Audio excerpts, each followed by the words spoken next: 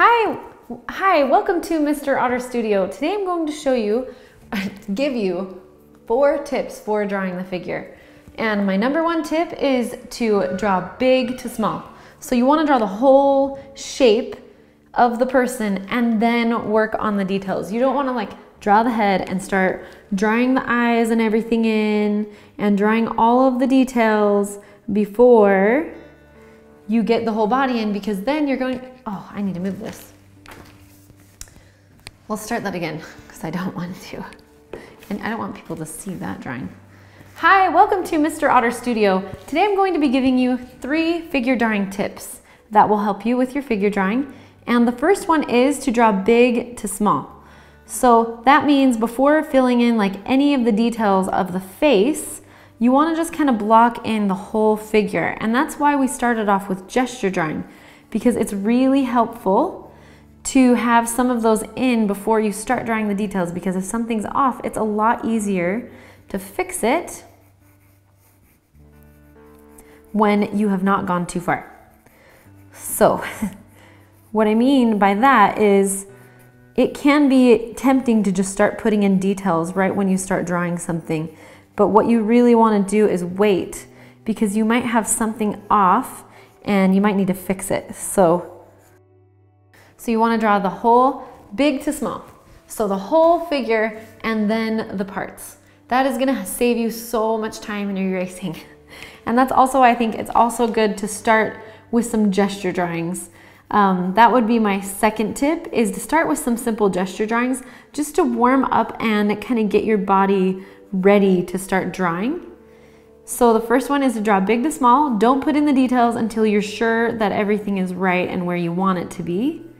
The second tip is going to be use some gesture drawings to warm up. So that's going to get you used to looking at the figure, looking for the figure, and it's gonna make figure drawing a lot easier because your body, you're like, you're looking. You're already in that looking zone or kind of habit, I guess, by the time you start. And then it's just gonna be a lot easier to draw some of those other things in. The third tip is to, if you're probably drawing somebody with clothes on, and so what is important is to know what's going on underneath.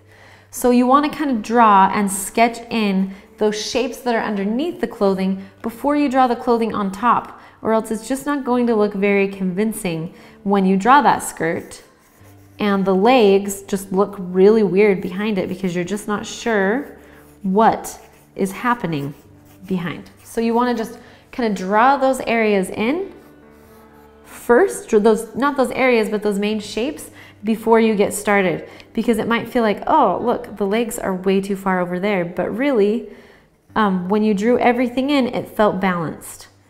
And so just go with it and it's hopefully going to be a way more successful drawing if you rely on um, what you had drawn before instead of like just starting to draw the dress and then draw the legs underneath. So those are my three tips. Start big to small, start with the whole shape, and then you can go back in and work on the details. And then the other um, suggestions I have are to draw some gesture drawings first just to kind of get you in the mode of um, drawing the figure so that you're just, you're ready and your eyes are ready and kind of, it's like warming up before you exercise, just so you're ready to do it. And that is kind of what gesture drawing is for figure drawing. And those are my three tips, but the last one really is just to not give up because it does get a little bit, um, it can be daunting to draw the figure because we're just so used to looking at people. And so when something's off with a figure drawing, we pick up on it really, really quickly because we're so used to looking at people.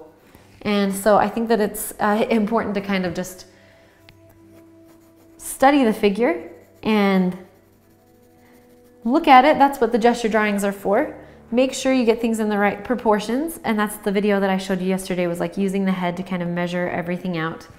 And that will be very helpful. And then drawing these gesture drawings just kind of get you used to looking at the figure and maybe how they're moving and what's going on with the muscles underneath the clothing and what's going on so that it can look a little bit more convincing. Those are my three tips. Good luck with your figure drawing. I hope you had fun um, learning the parts of the figure with me and proportioning. I still wish I would have drawn Frida yesterday a little bit better. I'm still working on her face. But um, So today, for your last assignment, what I want you to do is to create a drawing of someone that you know. And if something's off, check your proportions. Um, a lot of times we draw hands too small. That's another tip I'm just gonna throw in there. Your hand is about the size of your face, not your head, but your face. And the length of your arms together is kind of your height.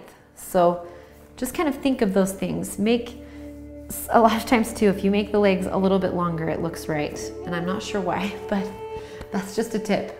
And you can check me on that one, but it's helpful. And anyway, that is all for today. Thank you so much for joining me for this figure drawing course and have a wonderful day.